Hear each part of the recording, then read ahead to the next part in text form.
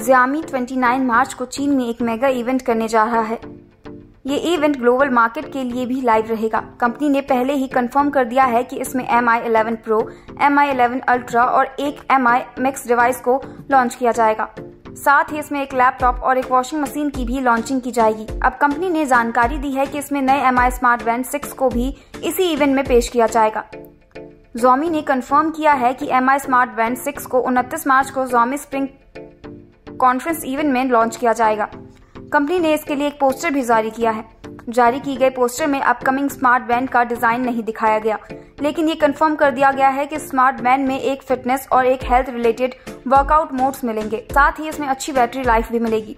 हाल ही में इस अपकमिंग स्मार्ट बैंड की लाइव तस्वीरें भी लीक के ज़रिए सामने आ गई हैं। इस कथित तस्वीर से ये पता चला है कि डिवाइस का डिज़ाइन पिछले मॉडल्स की तरह ही होगा।